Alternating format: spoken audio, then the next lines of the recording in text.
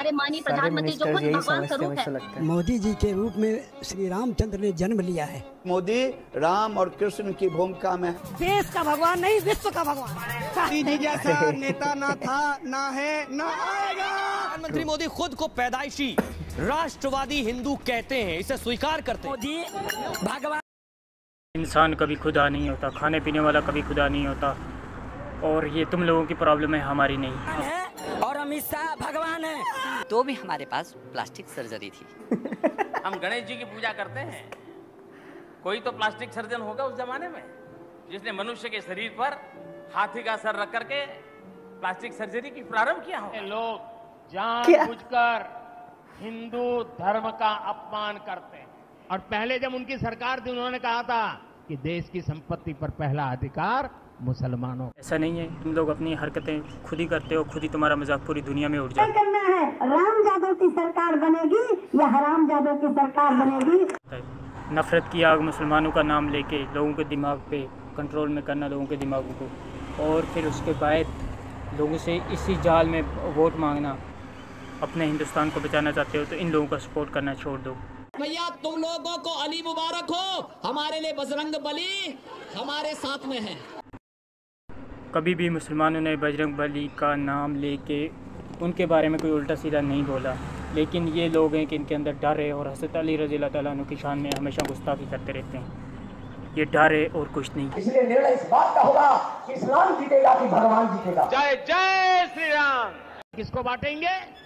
जिनके ज़्यादा बच्चे हैं आतंकवादी कहीं के? चार फीट के होते हैं बम तो यहाँ बाँध के उड़ जाते जहाँ भी देखो ये मुसलमानों को बदनाम करने के पीछे पड़े रहते हैं। ये भी एक डर है और एक नफ़रत के सिवा और कुछ नहीं है। ये किसी को कोई फ़ायदा नहीं देते हैं।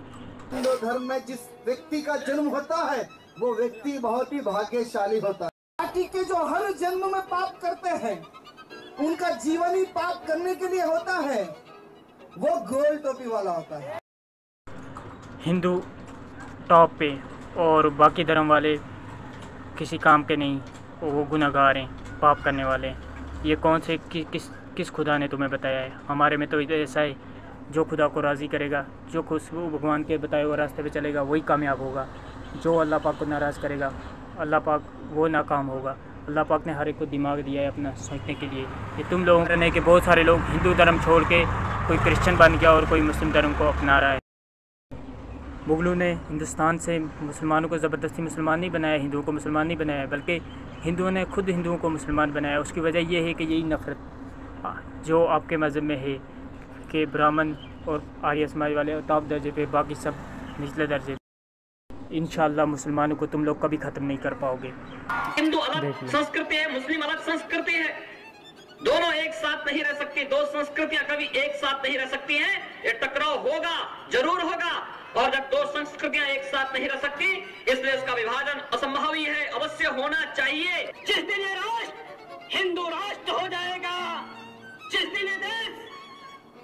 पूज्य योगी आदित्यनाथ जी जैसे युवा सन्यासियों के हाथ में चला जाएगा तो मुसलमान दोयम दर्जे का नागरिक बनेगा।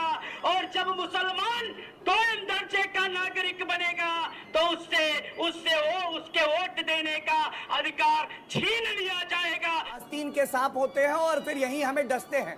उनके ऊपर बुलडोजर ही चलाया जाएगा उनको दूध नहीं पिलाया मुसलमान क्या मत तक रहेगा तो कितने लोग मारोगे? फ़लस्तीन में इसराइल ने पैंतीस हज़ार मुसलमानों को कत्ल किया। उसकी जगह साउथ अफ्रीका में चालीस हज़ार लोगों ने इस्लाम लाया, इसमें इस्लाम कबूल किया। हमें कभी नहीं मिटा पाओगे। हम क्यामत तक रहेंगे इन पर रहेंगे ज़रूर, चाहे कम ही रहेंगे, पर रहेंगे ज़रूर इन रहमान। जब तुम्हें वोट मिल जाएँगे, जब तुम जीतते हो और देश को दो दो हाथों से लूट के खाते हो, यही तुम्हारी असली औकात है। गुना हिंदुओं को भी तुम लोग लूटते हो। बलडोज़र तुम लोगों ने हिंदुओं के घरों पर भी चलाए नाम मुसलमानों का। मुसलमानों के घरों पर भी चलाए हिंदुओं के घरों पर भी चलाए। जीतने के बाद तुम्हारा रंग कुछ और होता है। तुम तो अपनी कौम को भी धोखा देते हो। तुम लोगों को हिंदू सिख्स बुद्धिस्ट और जैन्स आते हैं और मुस्लिम्स और क्रिश्चियंस आउटसाइडर्स की तरह हैं। जैसे देखो हमारे दो दुश्मन नहीं आने वाले समय में तीन हो गए सॉरी। एक तो होगा जो देशद्रोही मुसलमान दूसरा होगा जो हम हिंदुओं को कन्वर्ट करता है ईसाई तीसरा होगा हमारा ही भाई सेकुलर। खौफ है मुसलमानों का। और अब तो थोड़ा सा डर तुम्हें ईसाइयों का भी है। मुसलमानों का इसलिए तुम तुम लोगों को मुसलमानों का खौफ था, ईसाइयों का इसलिए क्योंकि वो तुम्हारा ही बन रहे हैं। ये खौफ है। ये तुम्हारी प्रॉब्लम है। तुम अपने हिंदू धर्म में अपने हिंदू भाइयों को नफरत से ना देखो। छोटी बड़ी जाति ना रखो। तुम्हारे मज़हब के लोग तुम्हारे ही मज़हब में रहेंगे। लेकिन तुम्हारी गलती ये है कि तुम अपने ही लोगों से नफरत करते हो तो तुम दूसरों को क्या अपनाओगे? जिनका नाम बजरंग मुनि है। उन्होंने एक समुदाय की बेटियों का बलात्कार करने की बात कही। बाकायदा जीप के ऊपर लाउड स्पीकर लगाकर मस्जिद के सामने गाड़ी रोककर यह बात कही है। इन साले कटुओं से कटे हुओं से पूछो। सलमा सलमा इंतज़ार कर रही है मेरे बजरंगियों का। अगर वो एक हिंदू बालिका को ले जाएँगे तो कम से कम सौ मुस्लिम बालिकाओं को तुम लोग और क्या भोंक सकते हो? गालियाँ हम भी दे सकते थे, लेकिन हमारा इस्लाम हमें ये नहीं सिखाता है। हम लोग हक बयान करेंगे, सच बयान करेंगे। दूसरों की बहन हमारी बहन है, हमारे इस्लाम ने हमें यही सिखाया है। हम तुम्हारी तरह घटिया और घटी घटिया सोच नहीं रखते हैं और घटिया काम नहीं करते हैं। हाँ कुछ लोग गलत हो सकते हैं, लेकिन इस्लाम गलत नहीं है। इस्लाम हक और सच है। तुम लोगों की बस इतनी औकात है। जितना तुम बोल रहे हो ना, ये तो हिंदू धर्म की किसी बुक में नहीं है। दूसरों की बहन बेटियों का रेप करना, ये तुम लोगों ने अपनी मन मर्ज़ी का धर्म बनाया हुआ है।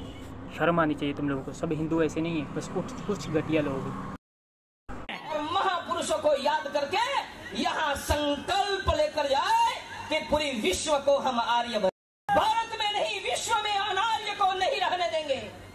संपूर्ण विश्व को, सप्तखंड धरातल को आर्य बनाने का संकल्प यही धरती पर अब लेकर जाए। हम टोपी वालों को भी सीताराम बुलवा देंगे, आपकी न्यूज़ पर बोल देते हैं। क्यों? पूरी दुनिया पे तुम क्या आर्य समाज बनाओगे? पूरी दुनिया को क्या हिंदू बनाओगे? खुद के हिंदू तो तुमसे संभाले नहीं जा रहे हैं। वो कोई ईसाई बन रहा है, कोई मुसलमान बन रहा है। कितने सारे लोग कन्वर्ट हो रहे हैं दूसरे रिलीजन में। और तुम लोग खुद के लोगों को संभाल नहीं सकते, उनको नफरत से देखते हो, उनको अपने से कम समझते हो तो दूसरों को क्या बनाओगे? तुम्हारी औकात है इतनी। इसको करने के लिए हक पे चलना पड़ता है, इंसाफ करना पड़ता है, जो कि तुम लोग अपने को साथ नहीं कर सकते हो। हिंदुस्तान के मुसलमान और ईसाई कौन है? तुम्हारे अपने ही हैं। इनको भी छोड़ो, ये तो दूसरे रिलीजन के हैं तो अपने ही लेकिन दूसरे रिलीजन के। तुम खुद अपने हिंदुओं को नहीं संभाल सकते हो। हिंदुओं को नफरत नफरत से देखते हो। तुम्हारे में मोची चमियारे कितनी नफरत करते हो उनसे। फिर वो कन्वर्ट होके या मुस्लिम बनते हैं या क्रिश्चियन बनते हैं। इस्लाम में सिर्फ़ मोहब्बत ही मोहब्बत है। सब एक बराबर हैं। बादशाह हो या भिखारी हो। सब एक साथ में नमाज़ पढ़ेंगे, कांधे से कांधा मिला के पढ़ेंगे। बादशाह बाद में आएगा तो पीछे सीढ़ियों पे नमाज़ पढ़ेगा, चप्पल की जगह पे नमाज़ पढ़ेगा और भिखारी पहले आएगा तो आगे सबसे आगे नमाज़ पढ़ेगा। तुम लोगों में ऐसा नहीं है, तुम नाम कुछ लोग मुस्लिम गलत हो सकते हैं, इस्लाम गलत नहीं है। इस्लाम पे उंगली नहीं उठाना। देश से गद्दारी करेंगे और ना ही तुम्हारे जैसे हिजड़ों के साथ हम साथ देंगे और ना तुम्हारे जैसे हिजड़ों के सामने झुकेंगे इन रहमान। मार पीट के तो तुम मुसलमान से ज़बरदस्ती बुला सकते हो, क्योंकि यही तुम्हारी औकात है। तुम लोग मुगलों को गलत बोलते हो, जबकि ये काम तुम खुद करते हो। लेकिन इन हमें ख़त्म नहीं कर पाओगे, हम क्या तक ज़िंदा रहेंगे। मैं सब हिंदू की बात नहीं कर रहा हूँ, सिर्फ़ इन चंद भुंडों की बात कर रहा हूँ, इन सब, इन चोरों की बात कर रहा हूँ, जो हिंदुस्तान को डुबोने की कोशिश कर रहे हैं, मिटाने की कोशिश कर रहे हैं। हिंदुस्तान के मुस्लिम, हिंदुस्तान के क्रिश्चियन, हिंदुस्तान के सिख, हिंदुस्तान के यहूदी, हिंदुस्तान के हिंदू कहाँ के हैं, हिंदुस्तानी के हैं, ये सब भाई भाई हैं। इनको मिलाने की जगह उल्टा इनको तोड़ रहे हो। याद रखना अगर सात लाठियाँ हो और वो जुड़ी हुई हो वो बहुत मज़बूत होती हैं वो टूट नहीं सकती हैं और लाठी की अगर एक गट्ठी से एक लाठी निकाल के तोड़ो तो वो टूट जाती है हमेशा। अरे भाई अगर वीडियो अच्छी लगी है तो वीडियो को लाइक करें अपने दोस्तों तक ज़रूर शेयर करें। सभी हिंदू ऐसे नहीं होते हैं ये कुछ गुंडे और कुछ मवाली हैं। तो इन रहमान हक सामने आई के रहेगा। तो हमारे वीडियो को ज़रूर शेयर करें और हमारे चैनल पर चैनल को सब्सक्राइब करते हैं मिलते हैं फिर दूसरे किसी वीडियो में तब तक के लिए अपने मेज़बान मोहम्मद इकबाल शेख दीजिए। इजाज़त असल